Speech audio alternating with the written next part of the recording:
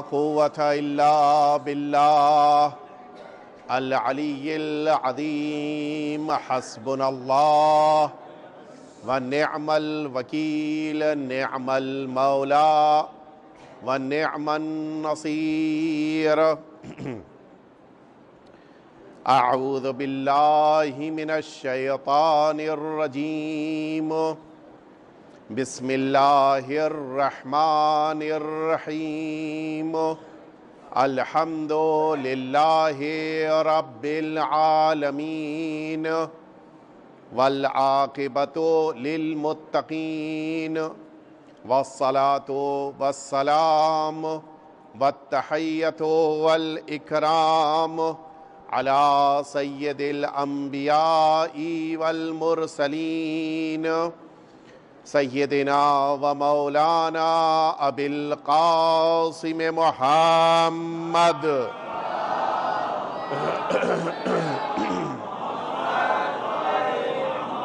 صلى الله عليه وعلى أهل بيته الأطيبين الأنجبين الذين أذهب الله عنهم الرجس. وطهرهم تطهيرا۔ اللهم صل على محمد. لا سيما الإمام المبين، بقية الله في الأرضين. واللعنة الدائمة الباقية على أعدائهم أجمعين. أما بعد فقد قال الله الحكيم في كتابه المبين قل إن كنتم تحبون الله فاتبعوني ایک دفعہ مل کے سلوات بھیج دیں آپ حضرات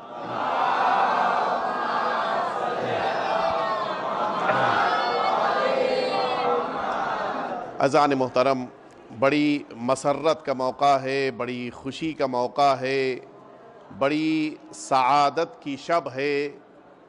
اس عظیم المرتبت شہزادی کا ہم سب جشن منعقد کر رہے ہیں، جنہیں پروردگار عالم نے وہ رتبہ عطا کیا ہے، جسے سمجھنا، جسے درک کرنا، جسے حتیٰ محسوس کرنا ایک عام بشر کے لیے ممکن نہیں ہے۔ سب سے پہلے میں آپ سبھی کی خدمت میں مبارکباد پیش کرتا ہوں اس عظیم مناسبت سے اور اس اعتبار سے آپ سب کی طرف سے اس عظیم امام کی بارگاہ میں کہ جو سید عالمیان کے حقیقی وارث ہیں، ان کی بارگاہ میں آپ سب کی طرف سے مبارکباد اور ہدیہ تبریک پیش کرتا ہوں اور اسی کے ساتھ ساتھ اس امام بارگاہ کی یہ خدمت گزار، اس امام بارگاہ میں یہ زحمتیں اٹھانے والے افراد بھی قابل ستائش ہیں کہ جو ایک سال سے مسلسل اس نئی آباد ہونے والی اس بارگاہ میں خدمت کر رہے ہیں۔ البتہ بڑی قدیم بارگاہ ہے کہ جس بارگاہ میں آپ سبھی نے متعدد محفلوں اور مجلسوں میں شرکت کی ہے اور آج بھی اسی عنوان سے آپ سب یہاں پر جمع ہوئے ہیں ان تمام افراد کے لیے کہ جنہوں نے اس محفل کی تعمیر میں، اس محفل کے قیام میں، اس محفل کو اوپر لانے میں زحمتیں برداشت کیں۔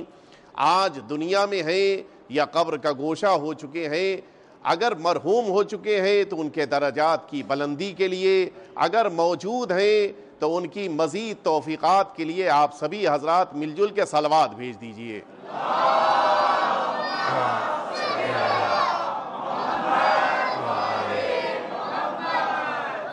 ہم تو صرف دعا دے سکتے ہیں۔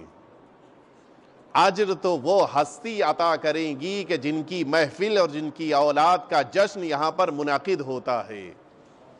جن کے بچوں کی محبت میں یہاں پر آپ سبھی حضرات جمع ہوتے ہیں وہ شہزادی عجر عطا کرنے والی ہیں اور یقین جانیے، پوری دنیا مل کر جو دے، وہ سب کچھ بھی اس چھوٹے سے کبھی مقابلہ نہیں کر سکتا جو سید عالمیان عطا کر رہی ہوں۔ شہزادی کی عطا کا کوئی مقابلہ نہیں کر سکتا۔ اور اسی لیے میں عرض کروں، آپ کی خدمت میں آج مجھے باتیں بہت ساری عرض کرنی ہے اور اپنے وقت کے اندر اپنی بات کو مکمل بھی کرنا ہے، میں کوشش کروں گا کہ اپنے وقت سے آگے نہ بڑھوں، لیکن پھر بھی میں جلدی جلدی اپنے مراحل کو طے کرتے ہوئے اصل بات کی طرف، اصل موضوع کی طرف آپ کو لے کے آنا چاہوں گا۔ ارشاد رب العزت ہے کہ اے پیغمبر آپ کہہ دیجیے، قل، اے پیغمبر آپ یہ پیغام پہنچا دیجیے۔ کیا پیغام ہے؟ ان کن تم تحبون اللہ۔ اگر تم سب اللہ سے محبت کرتے ہو، تو اب ثبوت چاہیے، دلیل چاہیے، کیا کرنا ہے؟ اے پیغمبر، آپ ان سے کہہ دیجیے، اگر اللہ سے محبت ہے فتبعونی میرا اتباع کرو، میری پیروی کرو یعنی اللہ سے محبت، اللہ کے رسول کی پیروی۔ محبت اللہ سے ہے، اتباع رسول کا کرنا ہے۔ یہ حکم پروردگار ہے۔ میں ایک بات یہاں پر جلدی علیہ اپنے مراحل کو طے کر رہا ہوں۔ میں ایک بات یہاں پر آپ سے پوچھنا چاہوں گا۔ ساری دنیا کا ایک دستور ہے۔ انسان جس سے محبت کرتا ہے، اس کے پیچھے چلتا ہے۔ یہی تو ہے۔ اور اسی لیے کبھی کبھی گھروں میں اختلاف بھی ہوتا ہے۔ باپ اپنی اولاد سے کہتا ہے کہ بیٹا، تمہارے دل میں ہماری محبت نہیں ہے۔ ڈیڈی ایسا کیوں کہہ رہے ہیں؟ کہ صاف سی بات ہے۔ تم میری بات نہیں مانتے۔ ہے یا نہیں ہے؟ یعنی اس کے معنی ہے کہ دنیا کا مزاج ہے جس سے محبت اس کی پیروی، یا بدل کے کہہ دوں، جس کی پیروی ہے اسی سے محبت ہوتی ہے۔ خدا را یہ کیوں تو نے کہہ دیا کہ محبت اللہ سے ہے، پیروی رسول اللہ کی کرنی ہے؟ اچھا ایسا بھی نہیں ہے۔ قرآن مجید میں بہت سارے موقعوں پہ اللہ نے اپنی اطاعت کا حکم دیا ہے اتی اللہ۔ اللہ کی اطاعت کرو، قرآن مجید کا حکم ہے یا نہیں ہے؟ جیسے اللہ نے اپنی اطاعت کا حکم دیا تھا، اپنے اتباع اور اپنی پیروی کا حکم بھی دے دیتا، کون سی مشکل تھی؟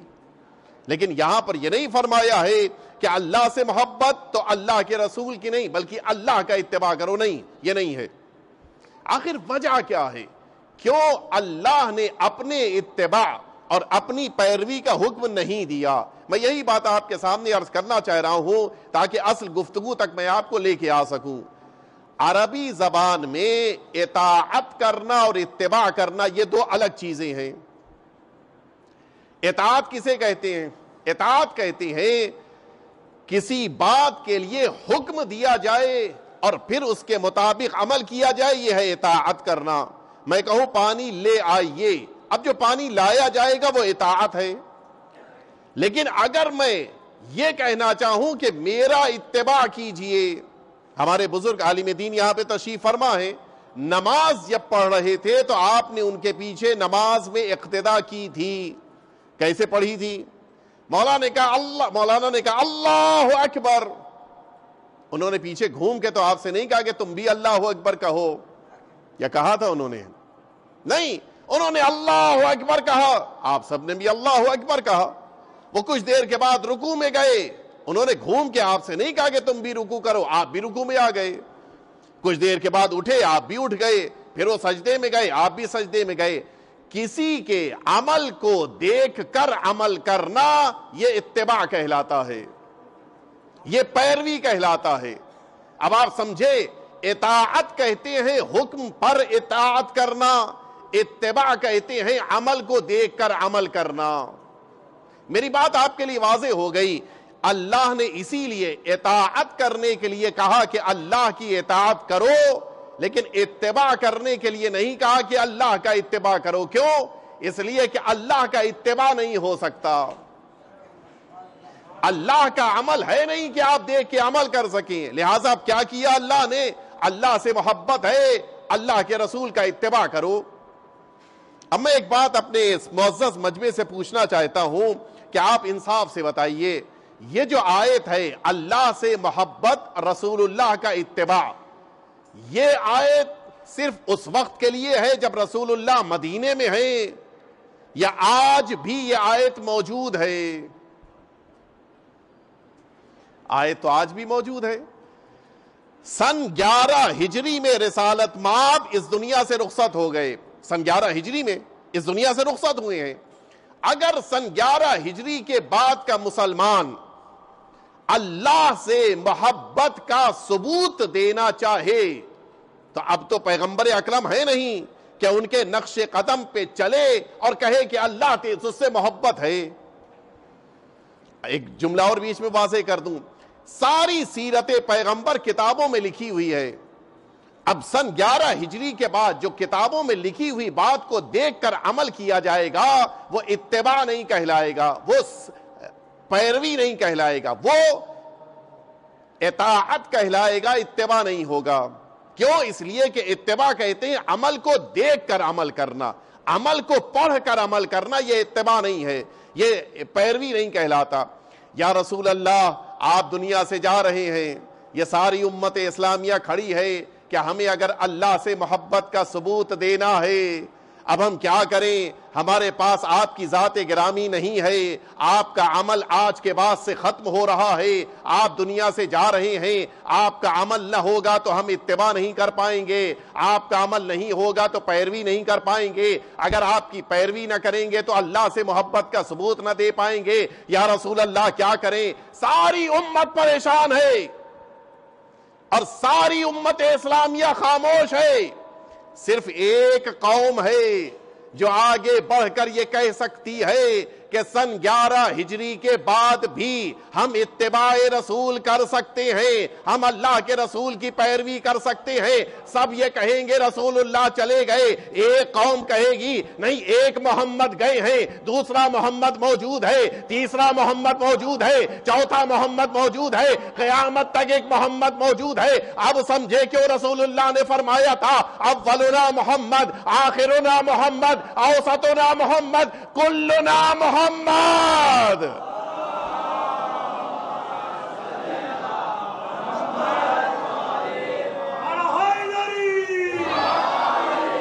یعنی آج بھی ہم اتباع رسول کر رہے ہیں۔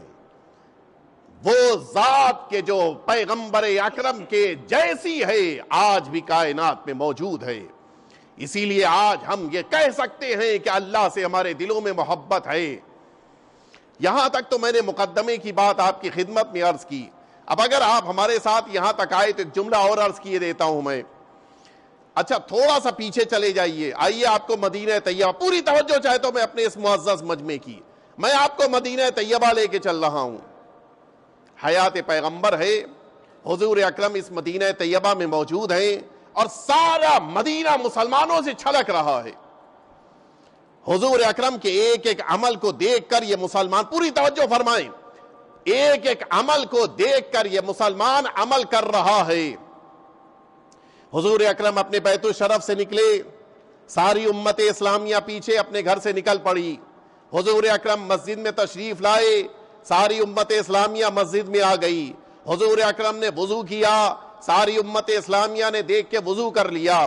حضور اکرم نے زہر کی نماز پڑھی، ساری امت اسلامیہ نے زہر کی نماز پڑھ لی۔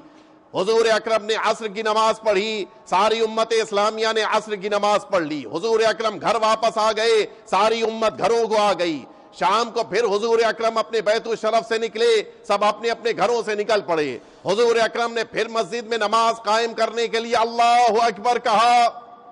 اب پوری توجہ فرمائیں آپ۔ مسجد نبی ہے۔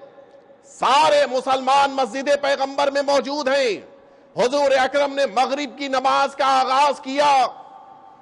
ساری امت نے پیچھے کھڑے ہو کر مغرب کی نماز کو دیکھنا شروع کیا۔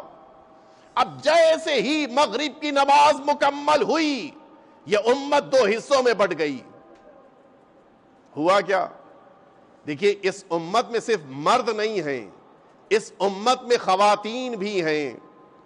اگر مردوں کی ذمہ داری ہے کہ مغرب کی نماز کو بلند آواز سے پڑھیں، تو خواتین کی کیا ذمہ داری ہے؟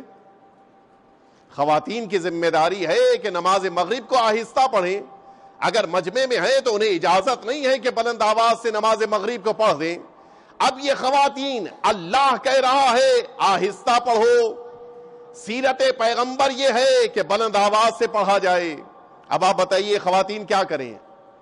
اگر بلند آواز سے پڑھیں گی، اللہ ناراض۔ اس لیے کہ میں نے کہا تھا کہ خاموشی سے آہستہ سے پڑھنا، بلند آواز سے کیوں پڑھا اگر بلند آواز سے نہ پڑھیں، خاموش پڑھیں، رسول اللہ ناراض۔ اس لیے کہ میرا اتباع نہیں کیا۔ اتباع کے معنی یہ ہے کہ جیسے میں نے پڑھا، ویسے تمہیں پڑھنا ہے۔ اس امت کی خواتین کیا کریں گی؟ آپ بتائیے۔ بلند آواز سے پڑھیں گی یا حصہ پڑھیں گی؟ بلند آواز سے پڑھ نہیں سکتی، اللہ نے منع کیا ہے۔ خاموش پڑھ نہیں سکتی، اس لیے کہ رسول اللہ کی سیرت ہے۔ ساری امت اسلامیہ کی خواتین پریشان ہے کہ کیا کریں۔ ایسے موقع کے اوپر اب ان خواتین کو کیا کرنا ہے؟ ان کی ذمہ داری کون معین کرے گا؟ آواز قدرت آئے گی۔ ان خواتین کی ذمہ داری ہے کہ تم اپنی مغرب اور عشاء کی نماز کے لیے ایسی کوئی خاتون تلاش کرو جس کی نماز رسول کی نماز ہو، جس کا قول رسول کا قول ہو، جس کا عمل رسول کا عمل ہو۔ اب سمجھ میں آیا کہ رسول اللہ نے کیوں فرمایا تھا؟ فاطمہ تو بزعتم منی، فاطمہ میرا ٹکڑا ہے، جب تک فاطمہ کو نہ مانو گے رسالت پوری نہ ہوگی۔ صلوات بیٹے محمد وال محمد۔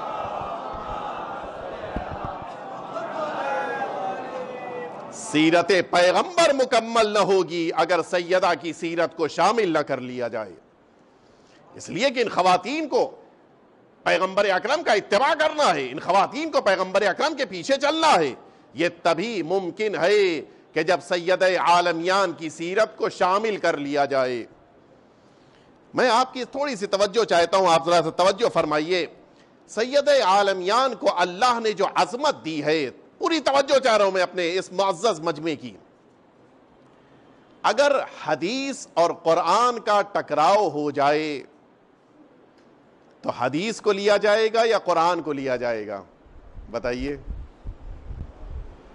ہم لوگ نے جس موقع کے اوپر ہمارے عالم دین موجود ہیں، جس موقع کے اوپر حوضے میں ہم لوگ قدم رکھتے تھے حوضہ علمیہ میں، پہلی بات یہ سمجھائی جاتی تھی کہ جیسے ہی دو حدیثوں میں یا قرآن اور حدیث میں ٹکراؤ ہو جائے تو پھر حدیث کو کیا کرنا ہے؟ چھوڑ دینا ہے۔ فضربو حال الجدار۔ یہ مشہور حدیث۔ بعد میں پتا چلا کہ الجمع مہما امکن اولا من الترکیہ تو بعد کے مرحلے میں پتا چلا کہ نہیں، پہلے ہمیں جمع کرنا ہے۔ کوشش کرنا ہے کہ دونوں پہ عمل کر سکیں۔ میں آپ کے سامنے ایک آیت پیش کر رہا ہوں اور پھر اس کے مقابل آنے والی آیت کے سامنے ایک حدیث پیش کروں گا۔ آیت کیا ہے؟ قرآن مجید کہہ رہا ہے کہ لقت کان لکم فی رسول اللہ اسوت حسنہ۔ تم سب کے لیے رسول اللہ کی سیرت بہترین سیرت ہے۔ یہ آیت ہے یا نہیں ہے؟ یہ قرآن مجید کہہ رہا ہے۔ اب آئیے میں ایک حدیث آپ کے سامنے عرض کروں۔ ہمارے آخری امام، سرکار ولی عصر عجل اللہ تعالی فریض الشریف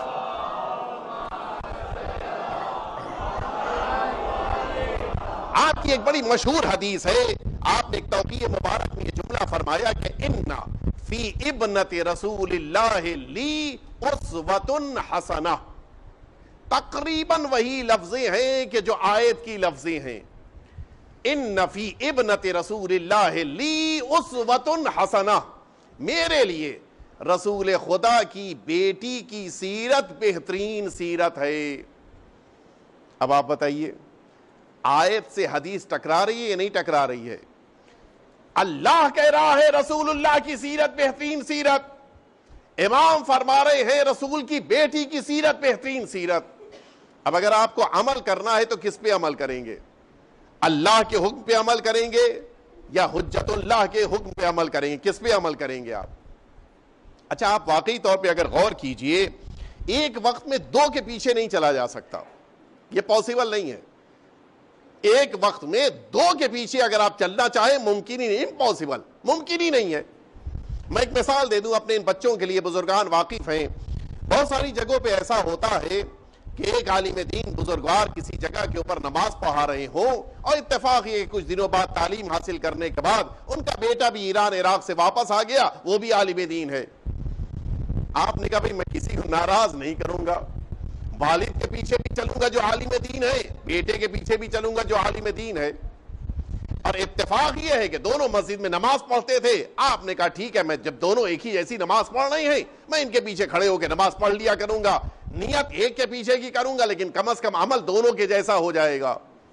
لیکن ہمیشہ تو ایسا نہیں ہے کہ دونوں مسجد میں نماز پڑھیں۔ ایک دن کوئی ایمرجنسی آ گئی۔ مولانا صاحب کے جو بیٹے، جو خود بھی مولانا تھے، وہ ہاسپٹل جا رہے ہیں۔ اب آپ بتائیے کیا کیجیے گا؟ طے تو یہ کیا تھا کہ دونوں کے پیچھے چلیں گے۔ ان کے پیچھے کھڑے ہوئیے گا تو نماز پڑھنی ہے۔ ان کے ساتھ جائیے گا تو ہاسپٹل جانا پڑ جائے گا۔ کیا کریں گے آپ؟ ایک وقت میں دو لوگوں کے پیچھے نہیں چلا جا سکتا۔ ہے یا نہیں؟ بالکل فیکٹ ممکن ہی نہیں ہے۔ مولا، اگر اللہ کے رسول کے پیچھے چلیں گے تو شہزادی کی سیرت رہ جائے گی۔ اگر شہزادی کی سیرت کو اختیار کریں گے، رسول اللہ کے پیچھے نہیں چل پائیں گے۔ ہم کیسے دونوں کو ایک ساتھ لے کر چلیں؟ شاید جواب آئے کہ نادان میں تمہیں یہی بتانا چاہ رہا ہوں۔ اختلاف وہاں پر ہوتا ہے جہاں دو افراد ہوتے ہیں۔ پوری توجہ چاہتا ہوں میں۔ اختلاف وہاں ہوتا ہے جہاں پر دو افراد ہوتے ہیں۔ لیکن اگر ایک ہی وجود کے دو پارٹ ہوں، میں مثال دے دوں، میری بات آپ کے لیے واضح ہو جائے۔ آپ کے پاس دو ہاتھ ہیں۔ یہ دو ہاتھ ایک وقت میں دو کام کر سکتے ہیں۔ ہاں یا نہیں، یا بولیے۔ یا کر سکتے ہیں یا نہیں کر سکتے، نہیں کر سکتے۔ ایک ہاتھ میں قلم لے لیجیے، کاغذ کے اوپر کچھ لکھنا شروع کیجیے۔ دوسرے ہاتھ میں چائے لا کے رکھی ہے اس چائے میں شکر گھولنی ہے، آپ چمچ چلائیے۔ یا چمچ چلائیے گا یا قلم سے لکھیے گا۔ جب لکھنے لگے تو چمچ والا ہاتھ رک گیا۔ جب چمچ چلانا شروع کیا، قلم رک گیا۔ ہوا یا نہیں ہوا؟ دو ہاتھ ہیں، ایک وقت میں ایک کام ہوگا۔ ایک اور مثال دے دیتا ہوں۔ دو آنکھیں ہیں یا نہیں ہیں؟ ایک وقت میں کتنا منظر دیکھتے ہیں آپ؟ دو یا ایک؟ ایک۔ اچھا ایک اور بات، اور قریب کی مثال دے دوں۔ آنکھ تو ایک سائڈ میں ہے۔ کان تو دو سمت میں ہے ہے نہیں؟ لیکن آپ ذرا انصاف سے بتائیے، کبھی ایسا ہوا ہے کہ ایک وقت میں دو آواز سنی ہو؟ ٹی وی دیکھ رہے تھے، نیوز سن رہے تھے، اچانک موبائل آ گیا، موبائل پہ فون آ گیا، کہ پہلے میوٹ کرو، تب اس کے بعد موبائل۔ ارے، دونوں کام کر لیجیے، کہ نہیں، ہو نہیں پائے گا۔ یا ایک کان سے سنائی دے تو پھر موبائل پہ نہیں بات کر پائیں گے۔ موبائل پہ بات کرنی ہے تو اس کان میں آواز نہیں آنی چاہیے۔ اس کے معنی ہے دو ہونے کے باوجود کام ایک ہوتا ہے۔ اچھا اور زیادہ اس کی بڑی مثال دے دوں۔ ماشاءاللہ سے آپ کے منہ میں کتنے دانت ہیں؟ بتیس۔ اگر کچھ کم ہو جائیں، ماشاءاللہ سے سلموں کا ایک دانت کم ہو گیا ہے۔ اگر بتیس سے کم ہو یا بتیس ہی ہو آپ کے ساتھ کبھی ایسا ہوا ہوگا؟ میں آپ ہی سے، چونکہ ایک دانت کم اس لیے آپ سے پوچھ رہا ہوں۔ آپ اگر انصاف سے بتائیں، اگر کسی موقع کے اوپر آپ ماشاءاللہ سے بریانی کھا رہے تھے اور اس بریانی میں آپ جس بوٹی کو منہ میں رکھا تھا آپ نے، اس بوٹی کے ساتھ ایک ہڈی بھی آ گئی۔ اب آپ ان دانتوں کو آپس میں بانٹ دیجیے۔ اکتیس کو تو بانٹنا مشکل ہے، بتیس والوں سے میں پوچھ رہا ہوں۔ اگر ان کو آپ آپس میں بانٹ دیجیے، کیا آپ یہ کہیں کہ بھائی دیکھو، آدھے طرف والے دانت ہڈی کو سنبھالے آدھے طرف کے دانت بوٹی چبائیں یہ ہو سکتا ہے؟ نہیں۔ بتیس ہیں، سب ٹھہرے ہوئے ہیں۔ ہے یا نہیں ہے؟ بتیس ہونے کے باوجود سب رکے ہوئے ہیں۔ یعنی اس کے معنی ہے کہ اگر ایک دانت چلے گا تو سب چلیں گے۔ ایک دانت اگر ٹھہرے گا تو سب ٹھہرے ہوئے ہیں۔ اس کے معنی ہے اگر دو ہوتے ہیں تو اختلاف ہوتا ہے۔ ایک بدن کے پارٹ ہوتے ہیں تو کبھی اختلاف نہیں ہوتا ہے۔ ہم یہ سمجھے تھے کہ سیرت پیغمبر الگ ہے، سیرت سیدہ الگ ہے۔ اگر یہ دو ذات ہوتی تو اختلاف ہوتا۔ یہ ایک رسالت کا دو حصہ ہے۔ سروات بیٹے محمد والے محمد پہ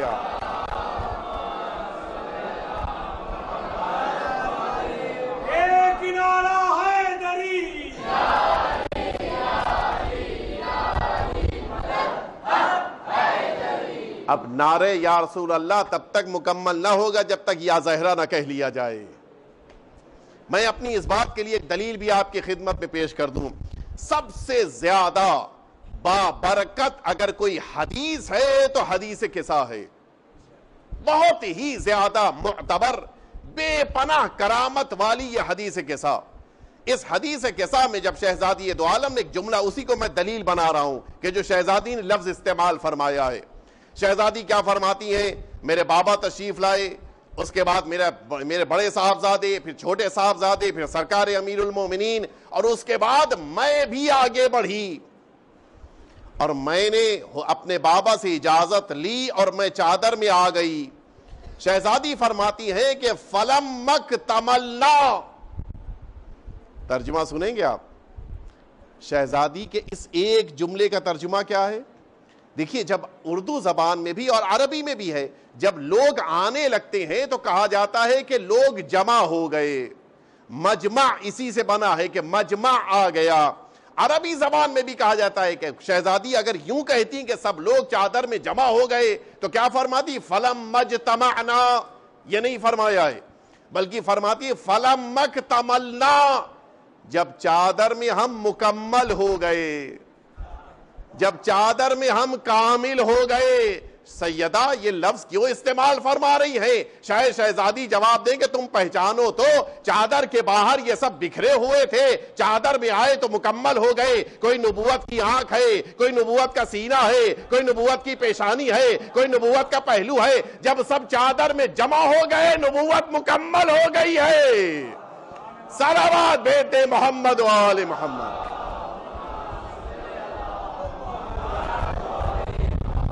ایک دفعہ اس سے بلند آواز سے درود بھیج دیں آپ حضرات۔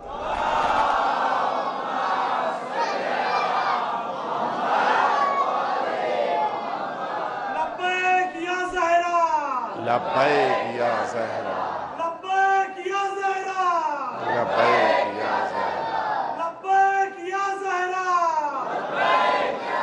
بڑا حیدری جنت المعلا و جنت البقیع کی جلد سے جلد خوبصورت تعمیر ہونے کے لیے آواز بلند صلوات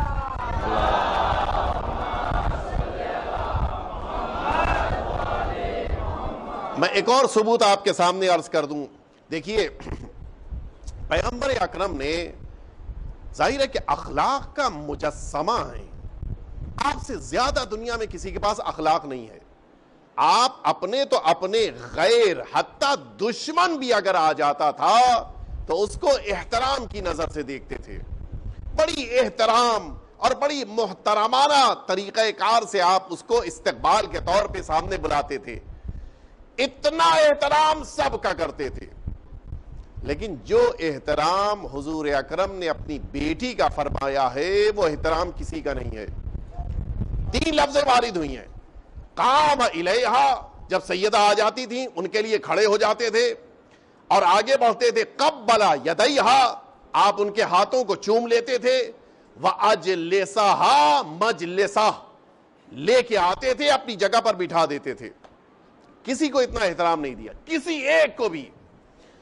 بہت زیادہ ہوا اپنی جگہ سے کھڑے ہوئے ہیں۔ ہاتھ کا بوسا نہیں لیا ہے۔ اور کسی کو بھی اپنی جگہ پہ لا کر نہیں بٹھایا ہے۔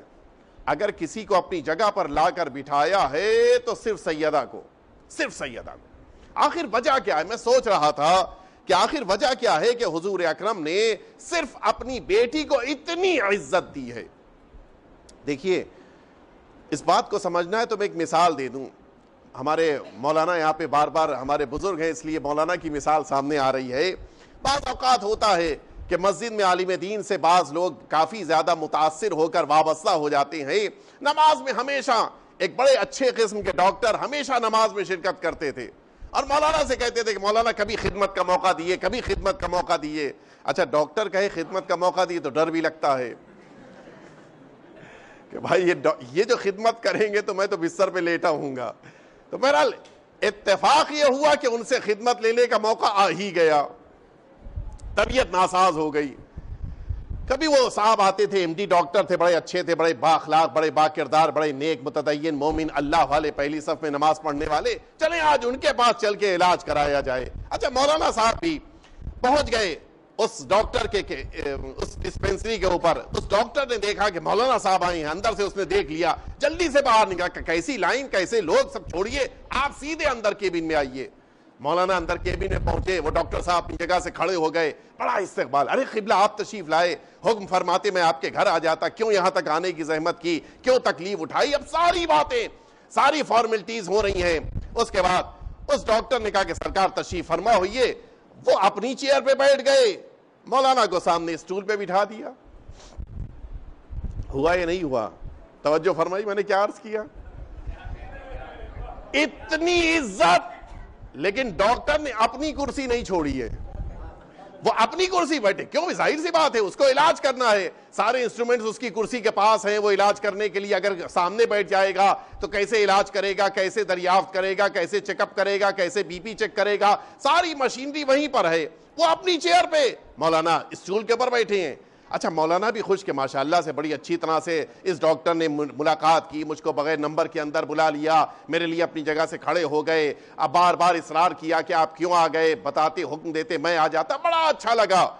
اچانک مولانا صاحب نے دیکھا کہ وہی ڈاکٹر اپنی جگہ سے پھر اٹھ گئے۔ انہوں نے دیکھا کہ بھی کس کے احترام میں کھڑے ہوئے، دیکھا ایک اور صاحب اندر آ رہے ہیں، سفید کوٹ پہنے ہوئے۔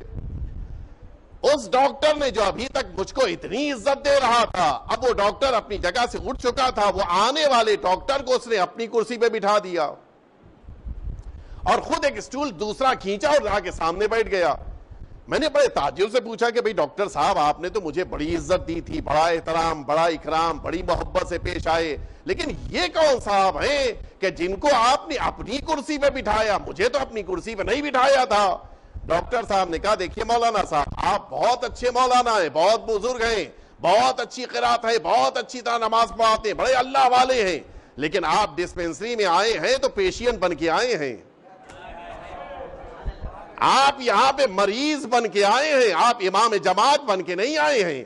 آپ یہاں پہ علاج کرانے کے لیے آئے ہیں۔ میں نے پوچھا، بھائی، یہ کون صاحب ہے جن کو اتنی عزت دی ہے؟ کہا، یہ ایک ایم ڈی ڈاکٹر ہیں جو میرے ہم رتبہ ہیں۔ یہ میرے ہم رتبہ ہیں، ہم سے ملنے کے لیے آئے ہیں۔ تو لہٰذا بھی ان کا احترام ویسا ہونا چاہیے جیسا میرا احترام ہے۔ بس سمجھ میں آ گیا، امت والے بہت عزت والے ہیں، لیکن مریض ہیں۔ سیدہ جو زیر سعادت ہے۔ صلوات بیت محمد والے محمد۔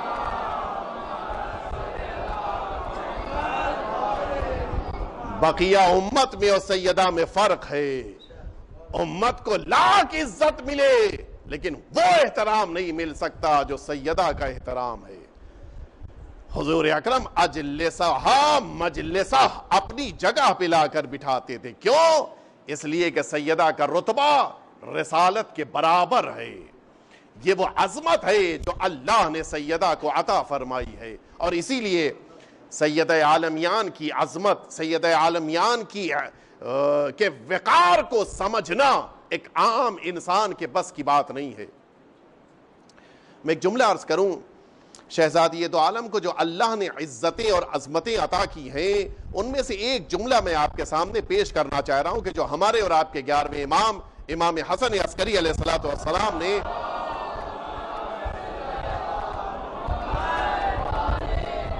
مولا فرماتے ہیں کہ نحن حجج اللہ علی خلقہ۔ ہم اتھار مخلوقات پروردگار پر اللہ کی حجت ہیں۔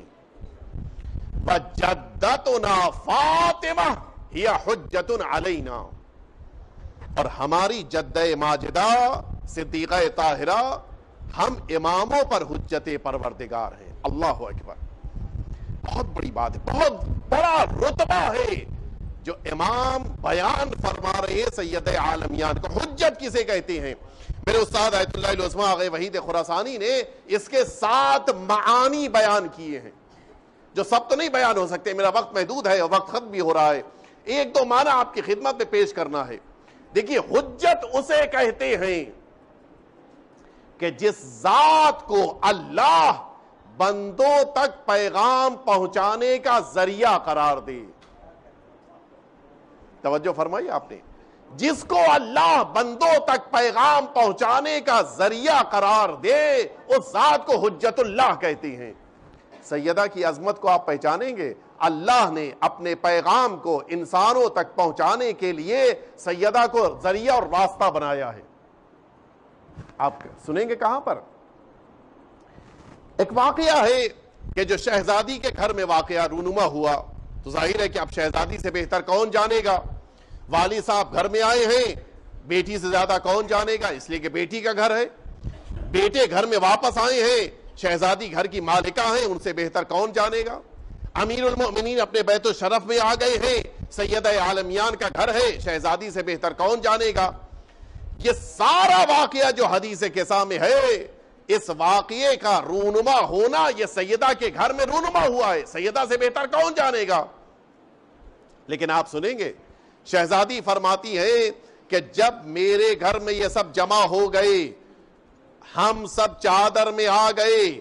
اسی وقت شہزادی فرماتی ہے کہ وقال اللہ سبحانہ وتعالی اعلموا یا ملائکتی وسکان سماواتی وعزتی وجلالی یہی جملہ تو ہے حدیث قصہ میں۔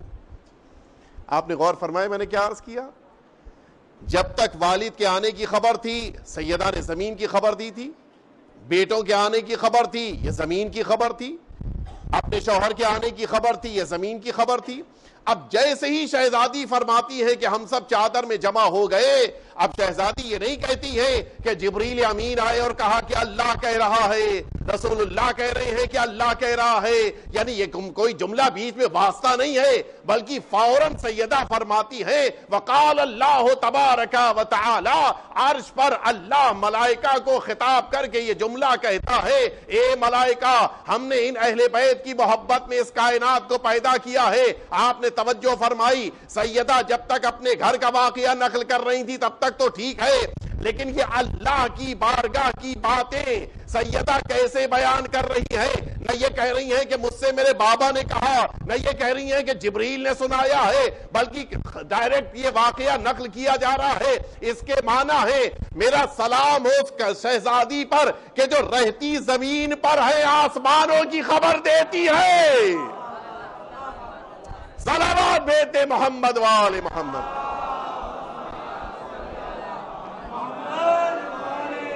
زمین پر ہونے کے باوجود آسمانوں کی خبر دینا یہ سید عالمیان کا اختیار ہے۔ ایسی ذات کو حجت اللہ کہتے ہیں۔ اور اسی لیے آئیے آج اس عظیم اور بابرکت شب میں کہ جب شہزادی دو عالم کی ولادت باسعادت کا موقع ہے، اللہ نے نور سیدہ کو اس کائنات میں بھیجا ہے۔ بس آخری کلام میں یہ بات کہے کہ میں اپنی بات مکمل کیے دے رہا ہوں۔ سیدہ کو اللہ نے اس کائنات میں نور بنا کر بھیجا ہے۔ اور اسی بنا پر سیدہ جیسے ہی اس دنیا میں تشریف لائی ہیں۔ آپ ذرا غور کیجیے۔ اس دنیا میں جناب عیسیٰ جب تشریف لائے تھے تو اپنی ماں کی عصمت کی گواہی دینے کے لیے انہوں نے ماں کی آغوش میں رہتے ہوئے گفتگو کی تھی۔ سرکار امیر المومنین جب دنیا میں تشریف لائے، سرکار رسالت ماپ کی آغوش میں آئے، آغوش میں آنے کے بعد گفتگو فرمائی۔ سید عالمیان جب دنیا میں تشریف لائیں، آپ نے سجدہ کیا اور سجدہ کرنے کے بعد جملہ فرمائے کہ اشہد اللہ الہ الا اللہ۔ واشہد ان ابی رسول اللہ واشهد ان بعلی سید الاوصیاء وان ابنای سید الاسباط یہ سیدہ نے فرمایا۔ لیکن بات یہیں پر مکمل نہیں ہو رہی ہے۔ سیدہ دنیا میں آنے سے پہلے روایت کی لفظیں ہیں کہ ایک دن جب پیغمبر اکرم اپنے بیت الشرف میں داخل ہوئے، آپ نے یہ دیکھا کہ جناب خطیت القبرہ کسی سے بات کر رہی ہیں۔ حضور اکرم نے پوچھا کہ اے خدیجہ، کس سے بات کر رہی ہو؟ فرمایا کہ میرے شکم میں موجود بچہ ہے جو مجھ سے باتیں کرتا ہے۔ آپ نے توجہ نہیں فرمائی۔ دنیا میں اللہ نے اور بھی ہستیوں کو بھیجا ہے، لیکن انہوں نے دنیا میں آنے کے بعد گفتگو کی ہے۔ سیدہ نے شکم مادر میں گفتگو کی ہے۔ سلامات بیٹے محمد والی محمد۔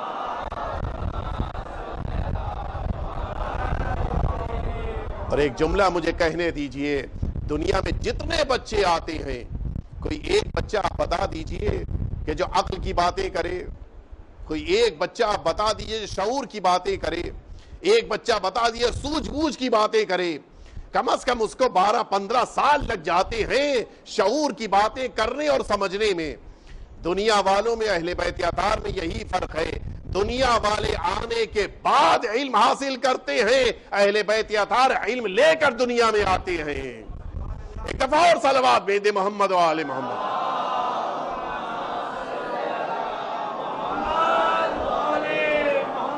آج کی شب توسل کی شب ہے۔ آج کی شب سیدہ کی بارگاہ میں گڑ گڑا کر دعائیں کرنے کی شب ہے۔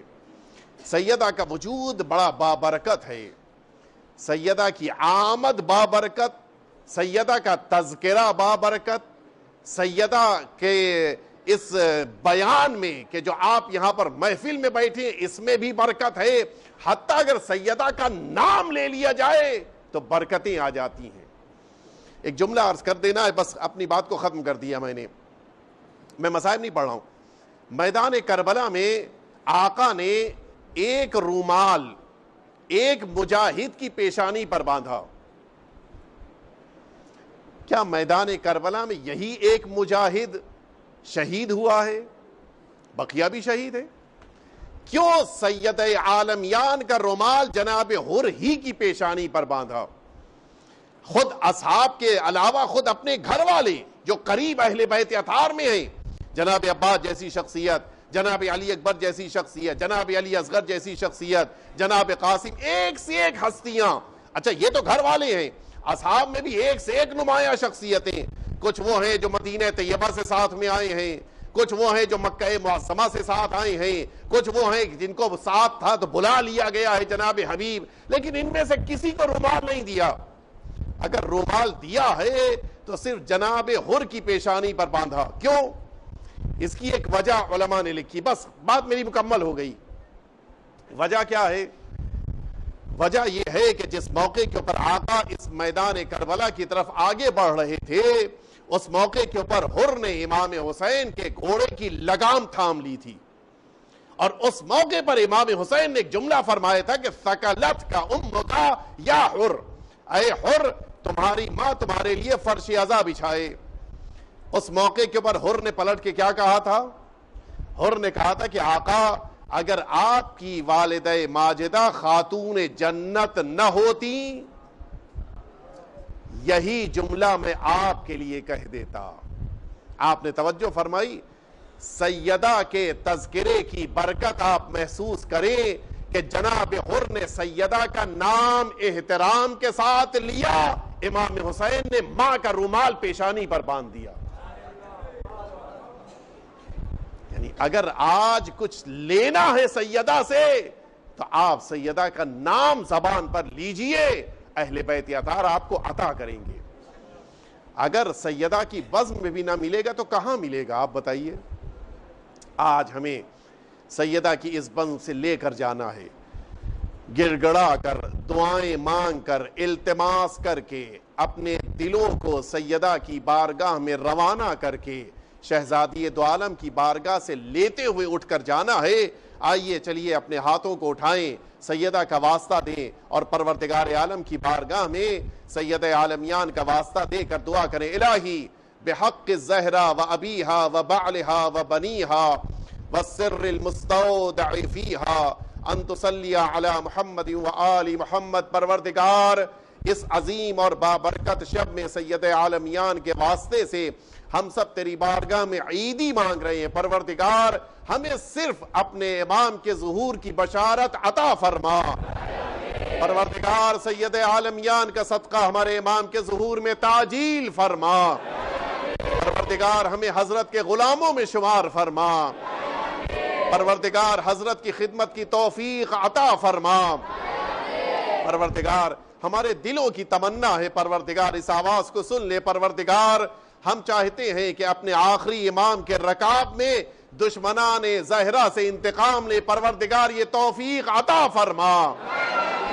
پروردگار، وہ تمام دشمنان سیدہ، جنہوں نے سیدہ پہ ظلم ڈھایا، پروردگار، ان کے عذاب کو شدید سے شدید تر فرما۔ پروردگار، میدان محشر میں سیدہ کی شفاعت نصیب فرما۔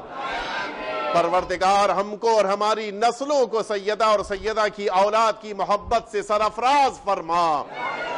پروردگار سید عالمیان کی خدمت کی توفیق عطا فرما۔ پروردگار وہ تمام مؤمنین جو سیدہ کی محفل منعقد کر رہے ہیں، جو جشن کر رہے ہیں، جشن میں شریک ہوئے ہیں، جو ذکر کر رہے ہیں، جنہوں نے اس بزم کو صدایا ہے، جنہوں نے خدمت کی ہے، پروردگار سیدہ کے صدقے میں ان سب سے قبول فرما۔ پروردگار شہزادی کی دعائیں اس مجمع کے شامل حال فرما۔ پروردگار اس سارے مجمع کے خاندان کے مرحومین کو سیدہ کا مہمان قرار فرما۔ پروردگار قبر میں سید عالمیان کی شفاعت نصیب فرما۔ پروردگار جنت البقی ویران ہے، اس مقدس بارگاہ کو آباد فرما۔ جنت البقی کو ویران کرنے والی قوم پہ اپنا شدید عذاب نازل فرما۔ پروردگار، وہ تمام افراد جو ائمہ اتھار کے مزاروں کے دشمن ہیں، ان سب کو نیست و نابود فرما۔ جناب زینب اور جناب سکینہ کے روزوں کی حفاظت فرما۔ پروردگار، ان روزوں کو بری نظر سے دیکھنے والوں کو نیست و نابود فرما۔ پروردگار اس دنیا میں اہل بیت اتھار کی زیارت اور میدان محشر میں شفاعت نصیب فرما۔ پروردگار دلی حاجتیں، مرادیں لے کر یہ حاضرین آئے ہیں، جناب سیدہ کے صدقے میں ان سب کی دلی حاجتوں کو قبول فرما۔